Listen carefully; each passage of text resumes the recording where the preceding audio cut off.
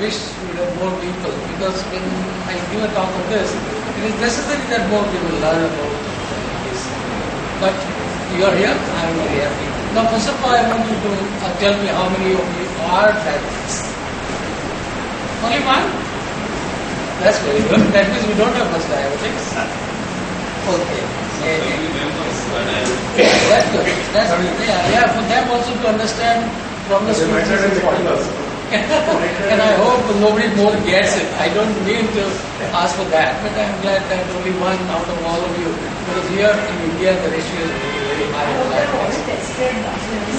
I hope they're all tested and then, Yeah, you will have a free checkup, and I hope you don't get sugar in it. But if you don't get, you should be lucky to know that you are that. Because there are a lot of people who, are, who do not know that they are diabetic. And they are suffering from somewhere or other small, they, they avoid it also, nothing much, nothing much. And that increases uh, the great. Anyway, I'm going to talk about my life as a diabetic, my life as such. But it's going to be a long story. They have given me enough time to narrate everything. but first of all, I'll tell you that, uh, as he said, I am going to be 70. I got diabetes when I was 20. So almost 48 years, 49 years have been completed this. And as you must be knowing that a young man getting diagnosed diabetes is a juvenile diabetes. And juvenile diabetes is put on the insulin. Injections only. And he has till now no remedy in science to have alternate treatment than taking insulin injections.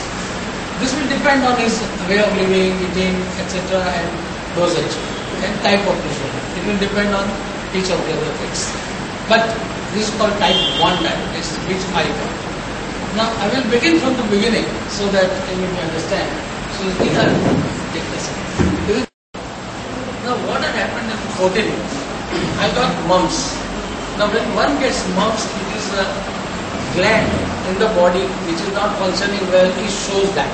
But those days in 50s, people were not aware of what is mumps. Child is playing, is fine, what is there to worry about?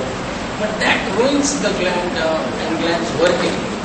He should be or she should be put on entire rest, which is told now, later on, later on. But it happened, so it happened. So whatever happened, however happened, I developed huge stomach pain. Center, s- stomach pain. Stomach, center and back simultaneously. And if I even now, from age of 14 till it is going on till today. You will be surprised it is going on till today undiagnosed.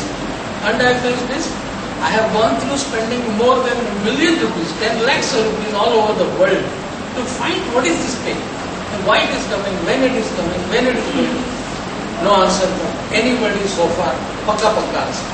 Somebody will say this, somebody will say that, somebody. But what is keeping me is only painkillers. And earlier the pain was so huge that no painkiller would work, but they would give me morphine. Injection of morphines are hardly given for any purpose other than this kind of pain. So I survived in the beginning with that, then other painkillers and the painkiller. Eh, until now, it's just the painkiller which kills the pain. And the funniest thing is, I do not know when it will come. I'll find now. I'll get up and probably I'll get it. The scare always remains. But I don't get scared In, in my language, in my speeches, everywhere I say, डर गया सब लोग मर गया Gabbar Singh was a good person who told us this. He was only good for this uh, sentence which he said, तो डरना नहीं है and fight तो करना है. That is the best basic for any disease. Even in our life, people are not disease, nothing. If डर गया तो मरने वाला है. This is तकलीफ आएगा. He will not enjoy life. डर के डर के life, why you know. So first the fear factor should be out. of course, as a child, I had no choice.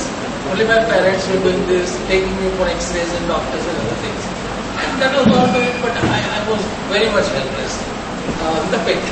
But when I was well, I was very well. So what I did, I did my studies in school. Then I became athletic champion, which was uh, something for my knowledge also was great, that in spite of this pain. Then I, be, I was a scout, so I became a Bharat Scout, which is supposed to be the, the, top, the training of scouts. And Pandit Nehru uh, me as a Bharat Scout, you know, on the Jamboree. So, you know, I was happy like that. And I used to play cricket and all that. But with this condition of stomach pain which used to put me off. And it did put me off for a long time, even now. But at that time my loss was, number one, I was to go in the Jamboree to Canada to see Queen Elizabeth. And I was not able to go because the pain occurred very much. I, I had to give up. Second time I lost a chance to play in Sri Lanka at that time, Health Shield cricket. I could not.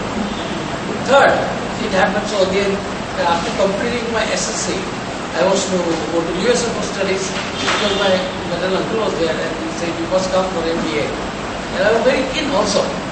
But uh, man proposes, God disposes. This is what again happened. I, I, I could go to USA for studies.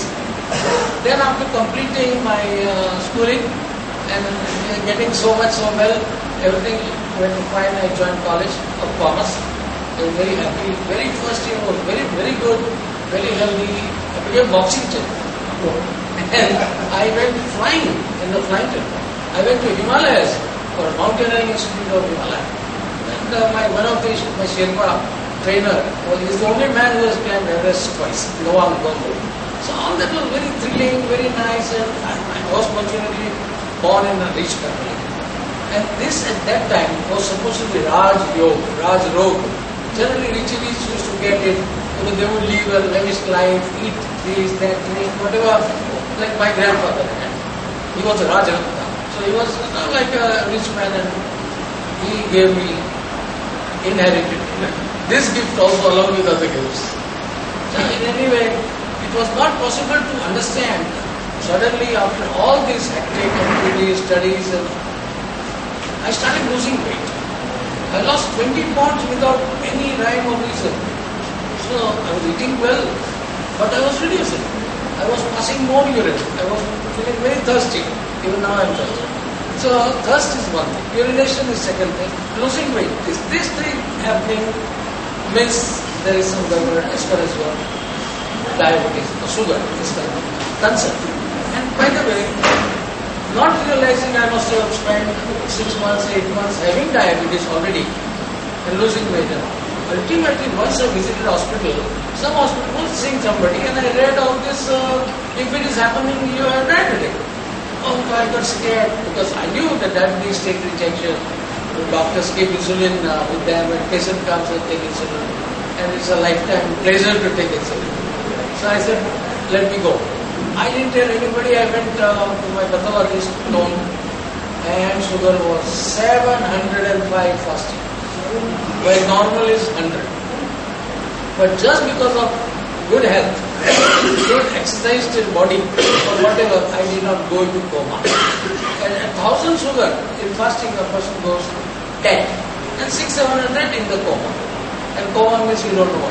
But fortunately, doctor immediately put me in his car, took me to a nursing home, called so and so doctor, and he started insulin therapy. Then I called my family and told them, and I was just 20. So this came as a big shock to me, my family, and mother, father, all that. So anyway, I had to find a diabetologist because I was told. And fortunately, I knew one diabetologist to whom I had gone earlier for insulin. So I invited him and he came, started treating me. And as I told you, for us, there's no more choice but to start with insulin injections.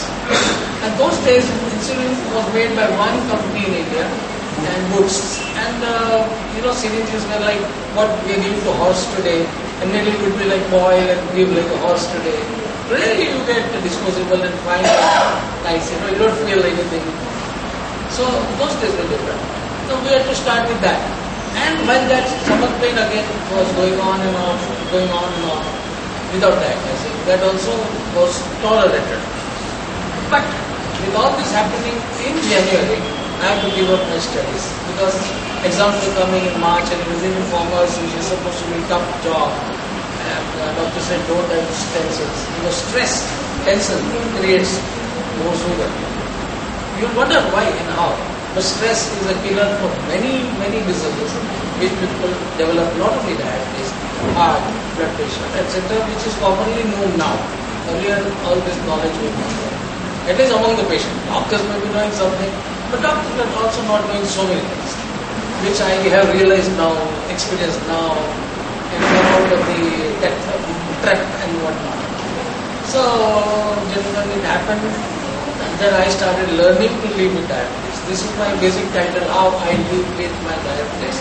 And this was the beginning of learning how to live with diabetes. A big chart of given. They starved me, I think. My mother very strict, no